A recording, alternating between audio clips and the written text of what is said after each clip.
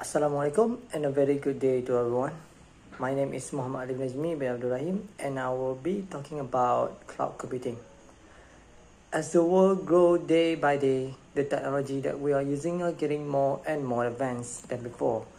The same goes for all the information that we can get with a simple click over our digital device. As much as the information can be obtained, we too can create information digitally. In our organization, every documents or records that are created are needed to be stored in its respective format of storage, whether they are in physical or digital form. With the numbers of physical records that are created increase each day, it will become more and more difficult to get a space to store them and the same problem can be applied on digital records. As a manager of a company, what is the best solution? That is when the cloud computing comes in. Cloud computing is the delivery of multiple services over the internet. Those services include servers, storage, databases, and many more. The main objective for an organization to be using a cloud computing is to maximize their business operation in order to increase their productivity. Companies such as Google, Microsoft, Adobe, and Zoom are using cloud computing. And the reason for that lies in the benefit of cloud computing.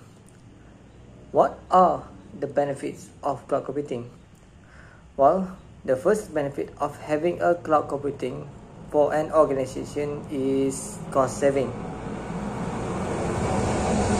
Having third party for cloud computing to store abundant documents will cost money, but the total money that is spent cannot be compared with letting the organization itself to secure its own IT infrastructure to store those documents the organization might have to set up a space for the server computer, which costs more money, not to mention the cost for electricity consumption to operate the servers and the cost of maintaining the servers.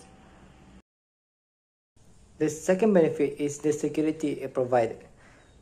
The cloud host's job is to monitor the security of its servers in order to gatekeep its client data from any potential threat. With the cloud computing having its own security service, the organization would not have to put up more effort by having separate division to secure the, the safety of those documents. The third benefit is the flexibility it offers. When an organization is needed to focus on many tasks, Having a cloud computing service will ensure that the organization will not have to worry about taking care of the place to store the documents or upgrading their IT infrastructure to store more documents.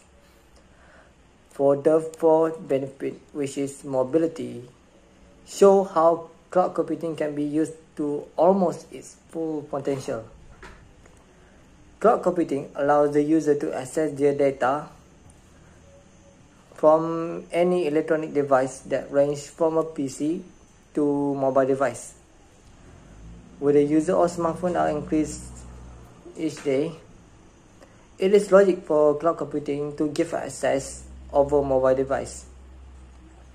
With some workers might need to work from home, the ability to access the document from a long distance will ensure that the workers can work in any sort of environment as long as there is internet connection.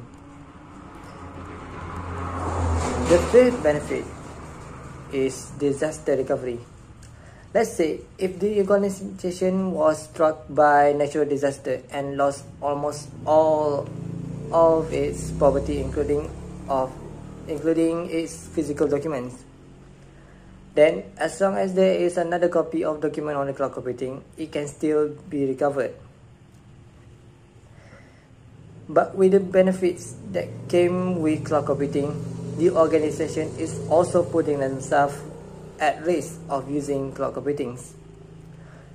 One of the risks in using cloud computing is unauthorized access. A cloud service can store data from multiple organizations, making it a potential target for the criminal to steal those data. Not only that, but the data is also exposed to unauthorized access from the cloud service vendor itself. Another risk is using cloud computing. Another risk in using cloud computing is lack of control over the performance. As an organization, we only depend on the service from the cloud computing vendor without actually supervise of how well they operate their service. The system that is used to store those data might not be able to operate well at all time. And it could result in an organization to unable to operate their business since they cannot access the information when the system is down. The third risk is trust towards the provider. The trust between the organization and the vendor is something that is very crucial. If the vendor did not have a proper policy statement, it might be difficult to put on a legal action toward the provider in case something goes wrong, like one of the vendor's staff had illegally accessed the data and selling it.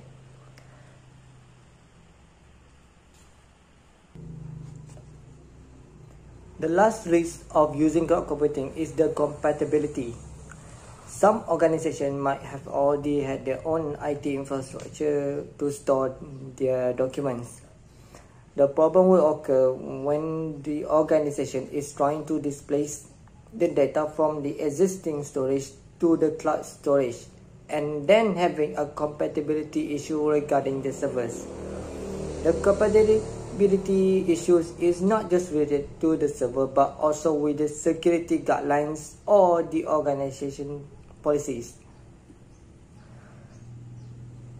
To conclude, as a manager of a company, it is an important task to decide if the benefit of the cloud computing can actually help the organization or if the risks are not worth it to be considered in using the service.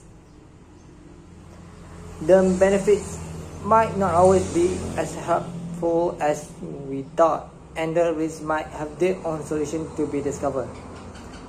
Whatever the issue was, is all back to the manager to decide when and how they will use or not use the cloud computing service. That is all for me. Thank you for listening.